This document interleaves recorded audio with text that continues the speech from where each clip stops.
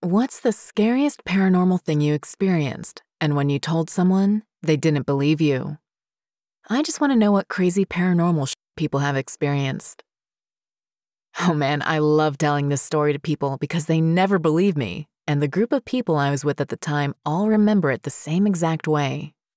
I was 16 going on 17, summer of my junior year of high school. Friday or Saturday night, you know, the usual living it up being the bad kids, having the time of our lives. Got some weed, needed somewhere to smoke it. Went to the state forest nearby, multiple round gravel lots around the perimeter of this forest for hunters and hikers to park in and enter the woods. The parking lots are maybe five or six cars big, not huge, and there's no driveway or anything, just gravel semicircles off the main road.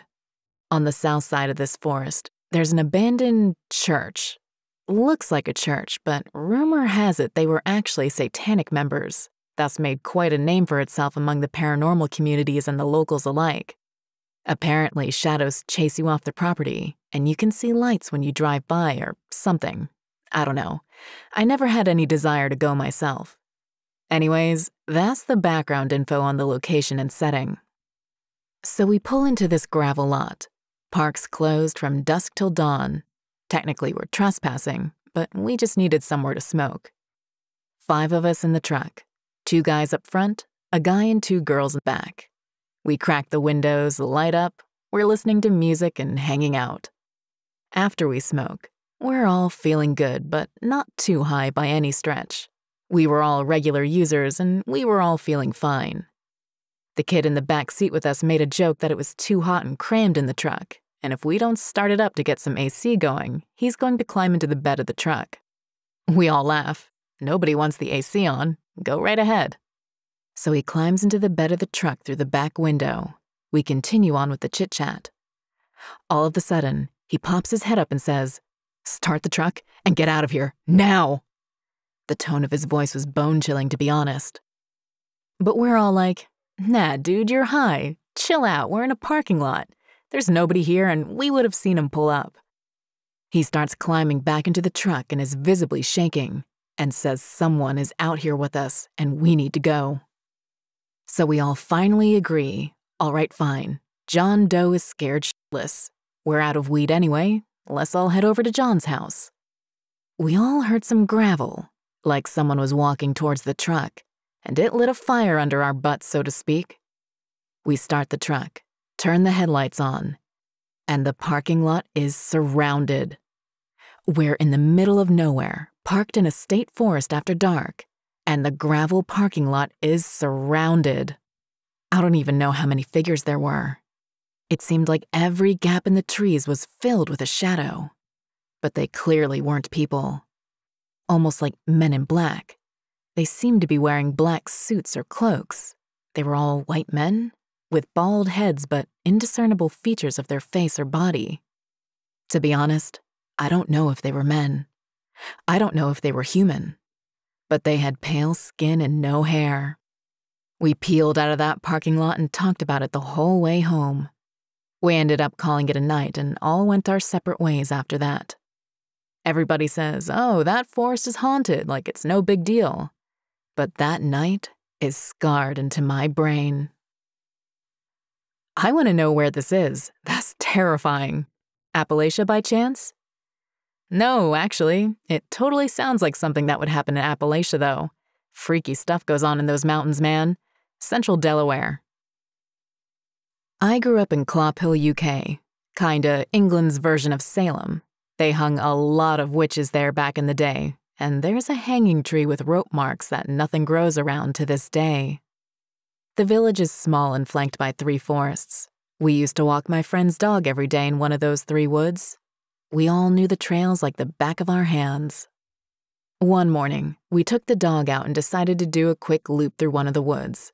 It usually took about an hour, a sort of horseshoe shape, totally clear, well trodden path. We'd walked it hundreds of times. But that day, as we walked into the wood, something felt weird. Just off. We got on the path and the dog, Jojo, was behaving oddly. She kept looking into the trees and growling, looking behind us and whimpering. Instead of running off like she usually did, She stuck close and behaved like she was afraid of something, but we couldn't see anything.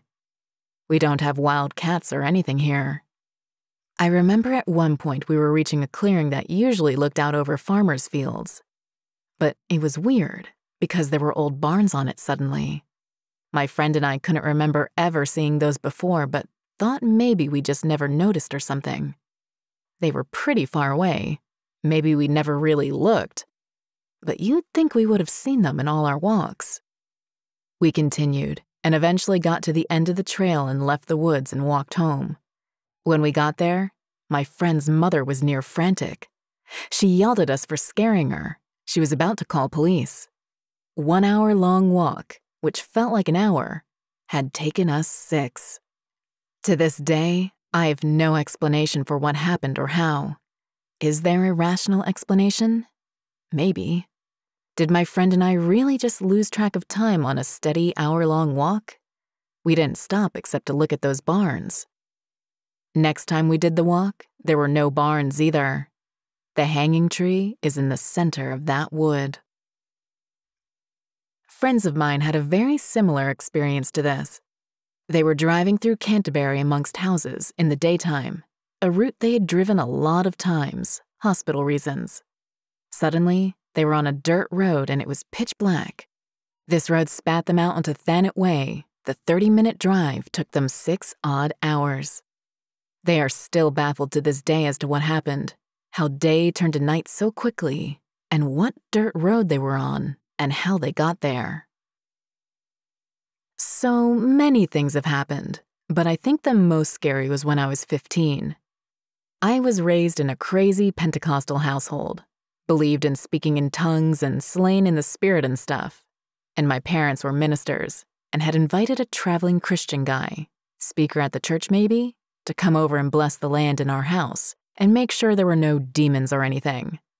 I know how this sounds, as an ex believer in organized religion, I'm almost too embarrassed to write all this out. My brother and I and our small friend group just didn't like the guy. He had an off vibe, but the adults wouldn't listen to us. It's as if he was putting on a show for all the churchgoers. Very dramatic, like a TV evangelist. He pointed to a front of clouds. We lived out in the country and you could see them for miles, and said, There, do you see them? I call them my boys. And to be honest, I kinda thought I saw something. A lot of somethings. I tried to confirm with him that he meant angels, and he just kept avoiding the question. He went and prayed all over the house and all over the property for the whole evening, with a group of adults that were in awe of him. The whole evening things felt off, and I kept feeling like I saw entities out of the corners of my eyes. Then, towards the end of the night, I rounded the corner of some trees. I looked up, and there were all kinds of weirdly shaped shadow figures on the barn roof, and a big one in the center with glowy eyes. My brother and I swear the property never felt right since. Pretty sure there's a large, creepy something in the basement of that house that was woken up. Lots of weird things started happening then. I was so glad to sell the house after my mom passed away a few years ago. Good riddance. Sorry if this reads poorly. This is one story I've never actually told before. It was the summer of 2002 when the following took place. Since I was born, I was always subject to odd things happening in our household. But it wasn't until our family moved into a well known apartment complex in Seymour where my life would be turned upside down. I would end up seeing something that would scar me and haunt my thoughts to this very day. Whatever it was in that apartment, it was evil and obsessed with torturing me out of everyone in my family. Its presence grew stronger and stronger as time passed. I would explain to my parents and sister what I would see or hear, and it just seemed like nobody would ever believe me until odd things started happening to them. One time I woke up around 4 a.m., and the moon was so bright you could see the bluish hue light up the room that me and my sister shared at the time. I woke up to the sound of my parents' doorknob shaking violently down the hallway. My first instinct was to ask, Everything okay, Dad? There was no reply back, and the doorknob stopped shaking to my parents' bedroom. I instantly knew there was someone in our home. I leaned over and looked in the hallway from my bed and saw this six to seven foot shadow standing in the middle of the hallway. No one in my family is over five seven. Panic and fear set in, thinking we were getting robbed, and all I could think of is, this is how I die. I slowly move back into my bed under the covers and whisper my sister's name, trying to wake her up. My sister asked across the room loudly, What's up? I'm sleeping. I whispered back, Shh, there's someone in the hallway. Silence. My sister had fallen back to sleep. I peeked back towards the hallway to see this thing hiding along the side wall, as if trying not to be seen. I can see its chest moving up and down as if it were breathing heavily. Another thing I noticed was how oddly long its fingers were. I have never felt such fear in my body than in that moment, as I feared for the life of my family at this point. I had no idea what I was looking at. I woke my sister back up because, of course, when you get scared, the instant feeling of having to use the bathroom kicks in. My sister, groggy and half asleep, follows me to wait outside the bathroom since I was paralyzed in fear. As I was washing my hands, I could hear my sister walking back to the room. I quickly dried my hands, shut off the lights, and started speed walking down the hallway back to the room. I instantly hear running footsteps growing louder and faster behind me. I ran, shut the door, locked it, and jumped into bed. My sister asked me if I was all right, because she could see how nervous I was. We shrugged all this off as possibly being half asleep and started to close our eyes.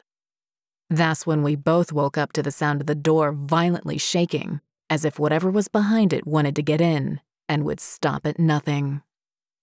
The door suddenly stopped shaking. Silence filled the room. I asked my sister, Do you hear that? She replied back in a nervous tone, Yeah. I made a dash for it and pounded the wall with my fists as hard as I possibly could, yelling for help. I could hear my dad get out of bed frantically and run to our bedroom door, knocking and asking if everything was all right. We explained to my dad what had happened, and he checked everywhere and found no one in the apartment. Every window and door was locked from the inside. Till this day, the image of what I saw still haunts me. That place was evil. It changed our family for the worst, and the feeling of dread and depression filled the walls of that apartment like never before. I really don't know what I saw that day, but I'm glad that never happened to me or my family again. For the most part, my paranormal experiences have been quite benevolent, with one terrifying exception. In 2004, my family and I were on vacation in Scotland.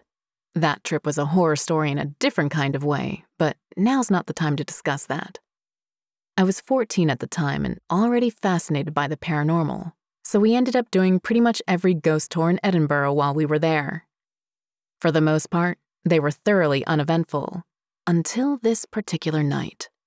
For some important context, I'm vision impaired, and quickly worked out the easiest way to navigate through tours like this was to be the last person to leave any given room. I could also see much better at 14 than I can now at almost 34. Anyway, this particular tour was the Edinburgh Vaults, Fascinating history if you want to look it up. And we get to the end of the tour, everyone else is filtering out of the room, and finally, it comes time for me to make my way out. I get three or four steps away from the doorway out of the room when I feel something forcefully grab my arm. It quite literally took all of my strength to break free and cross the threshold out of that room, at which point I look back to see absolutely nothing there. Mom didn't believe me at first, and thought I was just trying to scare her until the next morning, where a very distinctive bruise in the shape of an enormous hand covered most of my arm. Unfortunately, we've since lost the photo that was taken as proof. It's a shame that photo no longer exists, but it's definitely not the first story I've heard of someone feeling like they were grabbed in the catacombs. It's such a frequent occurrence, I tend to believe it. Which one of these stories gave you a shiver? For me, it was the first story where they turned on the car lights only to find themselves surrounded by black clad figures. Talk about nightmare fuel. I wouldn't get over that for a while. Not to mention the evil apartment with a seven foot tall shadow figure rattling the doorknobs and chasing you down the hall. At least during those occurrences, they had a witness. How about you? Ever encounter something so strange that no one else believed you? Let me know in the comments. While I'm at heart a skeptic, I know for a fact that truth is often much stranger than fiction. Until we meet again.